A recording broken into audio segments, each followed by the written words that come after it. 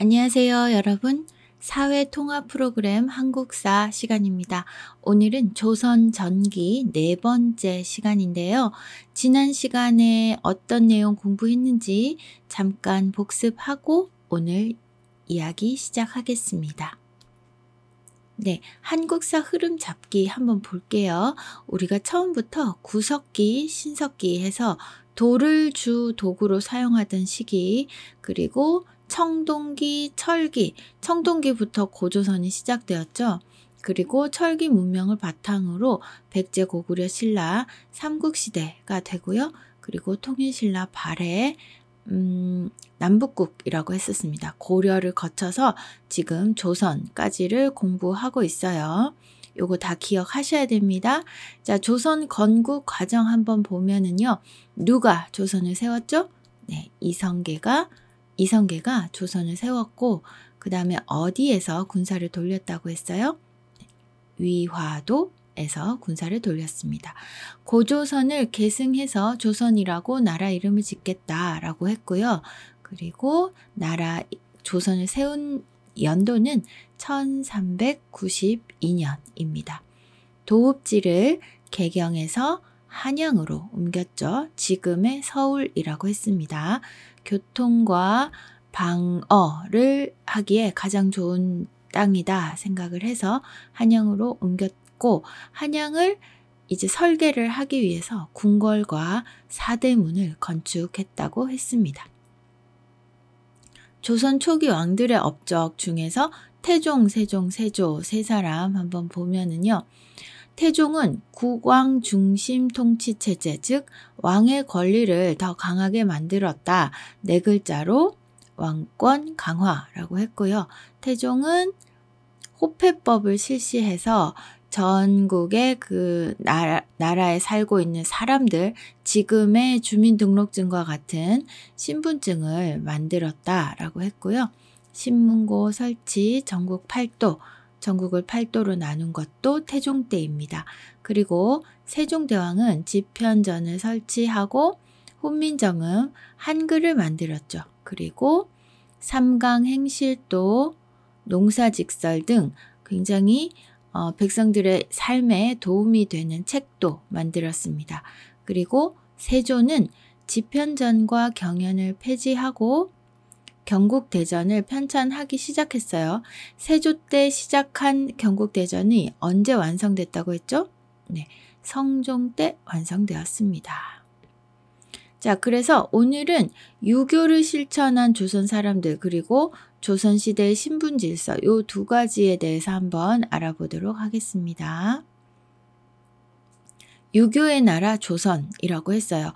고려 시대에는 불교를 받들었습니다. 그런데 조선시대가 되면 불교가 가고 유교를 굉장히 강조했습니다. 유교는 임금에게 충성을 그리고 부모에게 효도를 이렇게 충과 효를 강조하는 그런 사상이었는데요. 조선의 모든 모든 것들이 이 유교의 원리에 의해서 다스려졌다라고 해도 과언이 아닙니다. 임금부터 백성까지 유교를 생활의 근본으로 삼았다라고 이야기를 할 수 있어요. 일단 효도를 중시했어요. 그리고 왕도 정치, 왕이 그 도리에 따라 다스린다. 그리고 농업을 중시했고 신분 질서가 중요했고 유학 교육을 어릴 때부터 시켰고요. 그리고 관리를 등용하는 이 모든 절차를 유교적인 원리에 의해서 하려고 노력했던 나라가 바로 조선입니다. 유교의 나라 조선시대. 그럼 교육은 어떻게 시켰냐 볼게요.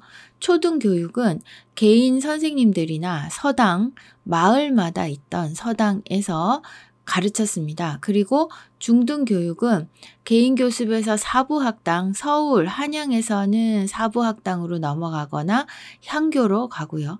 서당에서도 사부학당이나 향교로 가는데 사부학당으로 갈 수 있는 사람들은 좀 한계가 있었겠죠. 누구나 다 갈 수 있었던 것은 아니고요.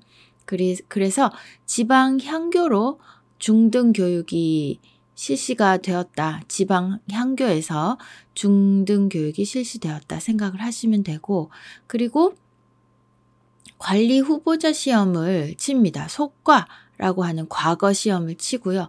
그리고 여기를 통과하면 성균관이라는 최고 교육기관, 지금으로 치면 대학이라고 할 수 있는데 성균관을 가는 사람도 있고 안 가는 사람도 있었어요. 성균관은 아무나 갈 수 있는 곳은 아니었다고 합니다.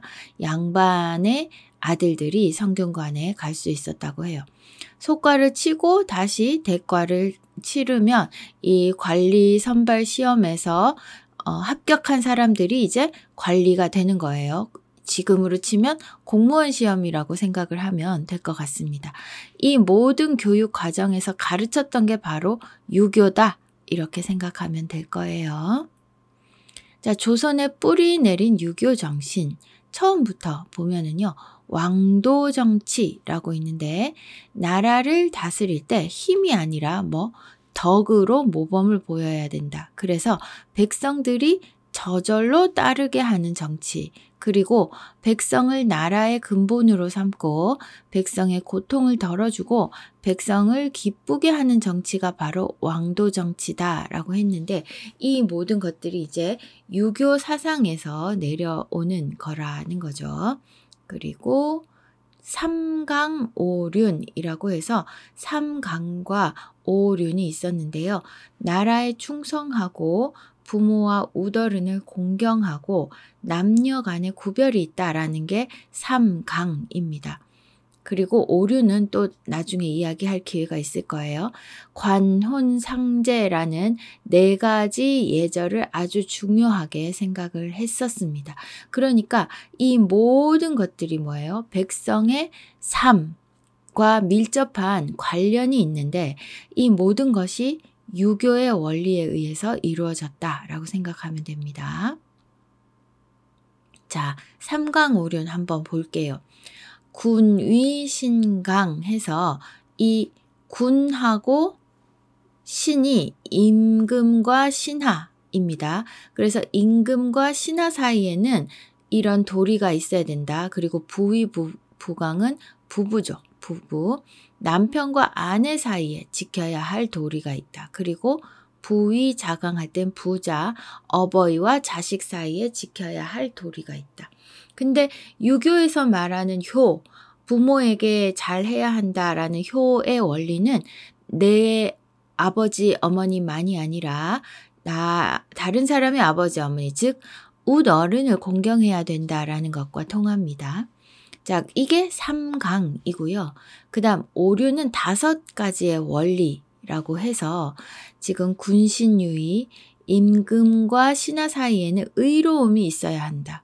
그리고 아버지와 어버이와 자식 사이에서는 친함이 있어야 된다. 부부 사이에는 구별이 있어야 된다. 어른과 아이 사이는 질서가 있어야 된다. 순서가 있어야 된다라는 뜻으로도 해석을 합니다. 붕우유신 친구 사이에는 믿음이 있어야 한다 해서 요 위에 세 개가 삼강, 밑에 다섯 개가 오륜. 유교 나라 조선의 생활에서는 모든 부분에 이 삼강 오륜이 굉장히 강조되었습니다. 그래서 삼가 공륜을 잘 지키도록 하기 위한 도덕책을 만들었다고 했죠. 그게 바로 삼강 행실도인데 이런 책을 만들어서 삼강 오륜을 가르칠 정도로 삼강 오륜은 굉장히 강조되었던 사상이다. 이렇게 생각하면 되겠습니다. 인생의 통과 을의 네 가지 관혼상제인데요. 관례, 혼례, 상례, 제례에서 이때 예절, 통과 의례라고 생각하면 됩니다. 관은 성인식이죠. 성인식. 성인이 되는 의례입니다. 혼은 결혼이고요. 가정을 이루는 의례. 그리고 상. 사람이 죽었을 때 장례를 치르는 의례. 그리고 제는 제사를 지내는 의례. 그래서 저기 높은 양반부터 아주 신분이 낮은 계급의 사람들까지 관혼 상제는 아주 중요하게 생각했고 그에 따르는 모든 규칙들은 유교적인 원리에 의해서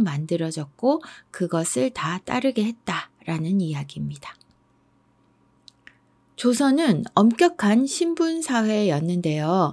태어나면서부터 정해지는 네 종류의 신분이 있었습니다. 양반, 중인, 상민을 양인이라고 하고요. 그리고 천민이라고 합니다. 그래서 양반과 천민으로 나누어진다라고 해서 양천제도라고 합니다. 신분은 내가 선택할 수 있는 건 아니었고요. 부모로부터 물려받아 태어나면서부터 정해져 있는 개인의 사회적이고 계급적인 위치 라고 생각하면 됩니다. 지금까지 우리가 봤던 삼국시대부터 조선시대까지는 모두 다 신분사회입니다. 그 신분이 조금씩 다를 뿐이지 신분사회인 거는 다들 변함이 없어요. 똑같아요. 자, 양인과 천인으로 나뉘는데 이 양인 중에서도 양반, 중인, 상민은 아주 다른 권리와 의무를 가졌습니다. 자, 양인과 천민으로 나눠서 양천제도라고 한다라는 것도 알아두시고요. 양인은 자유민입니다. 권리가 많았어요. 과거 응시를 할 수 있고 세금 납부의 의무를 가지고 있습니다. 천인은 비자유민이고 어, 개인이나 국가에 소속되어 있었다. 즉 자기 마음대로 할 수 있는 게 없었어요. 그러니까 시키는 걸 해야 되고 어, 원하는 대로 이사도 갈 수 없고 그런 신분이 바로 천인이었습니다. 조선 시대에는 신분증이 있었다고 했죠. 왕권 강화에 굉장히 신경을 썼던 태종 때 만들어진 호패 제도입니다. 조선시대에 신분을 증명하기 위하여 16세 이상의 남자가 가지고 다녔던 패입니다. 신분, 그리고 지위, 주소 등 기본적인 인적 사항을 담고 있었어요. 지금 보면은 이름 있고요. 그죠? 그리고 언제 태어났느냐, 그리고 신분이 뭐냐, 이런 거 있죠? 자, 그리고 신분에 따라 다른 재질의 호패를 착용했다. 어, 상민들은 나무로 된 거, 그 다음에 조금 더 좋은 거, 좋은 거, 이렇게 호패만 봐도 그 사람의 신분과 지위와 나이와 주소 등등을 알 수 있었던 그게 바로 신분증이죠. 어, 세금과 군역 동원을 위한 것이었기 때문에 여자는 호패가 없었습니다. 그래서 16세 이상의 남자, 요거 기억해야 됩니다. 조선시대 신분지에서 조금 더 자세히 볼게요.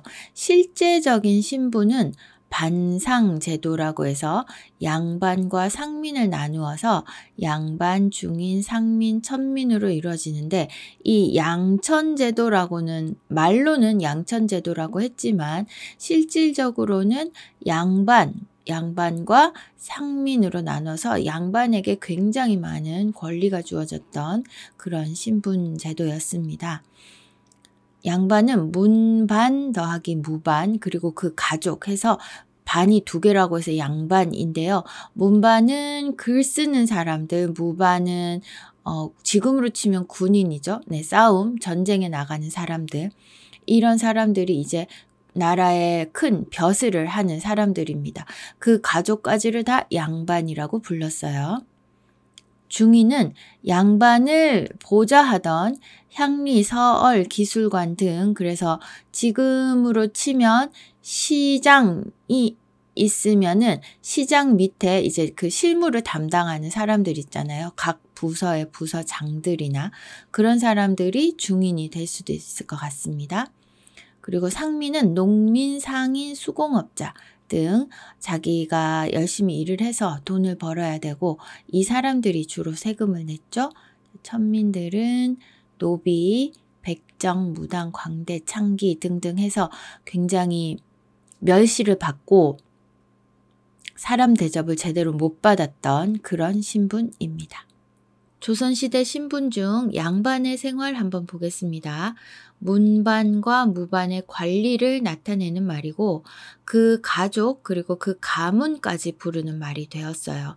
양반은 과거 시험, 무과, 문과, 잡과 등의 과거 시험을 통해서 관리가 되고 경제적으로 아주 큰 땅을 가지고 있고 주로 큰 기와집에서 살았다. 그리고 생산에 종사하지 않고 현직 예비 관료, 관료로 책 읽고 글 쓰는 등 유학자로서 생활하였어요. 그래서 각종 국역에 면제되었다. 전쟁이 나도 양반은 어, 전쟁에 군사로 차출되지 않았고 어, 노역 뭐 나라에 큰 공사를 할 때도 거기에 가서 일을 하지 않았고 세금도 내지 않았어요.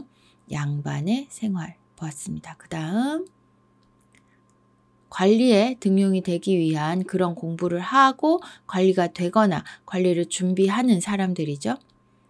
자, 중인 보겠습니다. 양반과 상민의 중간 신분이다. 대부분 중앙과 지방 관청의 서리와 향리, 기술관으로 직역을 세습하고 같은 신분끼리 혼인한다 했는데 양반도 양반끼리 혼인하고 그랬어요. 이런 지금으로 치면 전문가죠. 전문가, 기술자 이런 사람들 그리고 실무자들 실제로 일을 하는 담당하는 사람들 의학, 법률 등 전문 기술이나 행정 실무를 담당하는 사람들이었다. 그리고 통역하는 사람들, 역관도 이 중인에 속했는데 역관은 그 당시에 어, 사신을 수행하며 외국을 왔다 갔다 하기도 하고 해서 무역을 많이 했어요. 그래서 역관들 중에는 부자인 역관들도 많았다고 합니다. 그런데 이 중인 중에는 서얼이라고 조금 특이한 어, 특별한 사람들이 있었는데요. 양반과 상민 또는 양민과 천민 사이에서 태어난 사람을 서얼이라고 부릅니다. 음, 양반이 어, 정식으로 결혼하지 않은 사람과 태어난 자식들이 주로 많았죠. 그래서 이런 서얼들은 자기는 아버지는 양반인데 어머니는 양반이 아닌 경우가 많았어요. 그런 사람들을 서얼이라고 부르고 중인과 같은 신분적인 처우를 받았다. 그리고 문과 시험에는 응시할 수가 없었습니다. 그래서 주로 무과, 무술을 하는 그런 무과에 지원해서 관직에 나가는 경우가 많았다고 해요. 어, 조금 억울한 사람들이 많았겠죠. 그죠? 나는 공부도 잘하고 한데도 아버지는 양반인데 나는 양반이 아니고, 어, 내가 하고 싶은 대로 공부를 해서 문과 시험을 칠 수도 없는 그런 상황이라 이 서얼들이 굉장히 양반의 자제임에도 차별을 많이 받았다. 이런 것과 관련한 이야기들도 제법 많이 있습니다. 상민 보면은요. 평민이나 양민이라고 부르며 주로 농사를 짓는 사람들, 그리고 상인, 장사하는 사람들, 수공업자들, 뭐 만드 손으로 뭐 만드는 사람들, 초가집에서 주로 살았고요. 그리고 법적으로는 과거 응시할 수 있다 하지만 사실 공부를 할 수도 없고 늘 농사 짓고 나면은 뭐 너무너무 바빠서 사실상 불가했습니다. 세금도 내야 되고 군대도 가야 되고 공사도 해야 되니까 이런 의무를 다 지고 있으니까 이 공부 편하게 앉아서 공부할 시간이 없었어요. 농본주의 정책을 실시한 조선. 농사가 제일 중요해. 라는 농본주의 정책을 실시한 조선에서 상인의 경우 농민보다 더 낮은 위치에서 대우를 받았기도 합니다. 근데 조선 후기가 가면 좀 달라지기는 해요. 근데 조선 전기 때는 농민을 더 높이 평가했었습니다. 그 다음 천민 보면은요. 천민의 대부분이 노비였고 비자유민입니다. 이 사람들은 교육을 받을 수도 없었고 벼슬을 할 수도 없었어요. 노비는 사람이 아니라 재산으로 취급되었어요. 그래서 사고 팔기도 하고 다른 사람한테 선물하기도 하고 그 다음에 아버지의 노비가 아들의 노비로 상속이 되기도 하고 그럽니다. 그리고 공노비는 국가나 관청 소속이고요. 사노비는 개인 소속이었어요. 양반집 행랑채나 양반집 근처에 살면서 어, 언제든지 양반이 부르면 가고 양반집에 일을 하는 그런 사람들이 많았죠. 부모 중 한쪽이 노비면 자식도 노비가 되었습니다. 백정, 무당, 창기, 갑바치, 광대 등도 천민이었는데 일단 노비가 가장 수가 많았다고 하네요.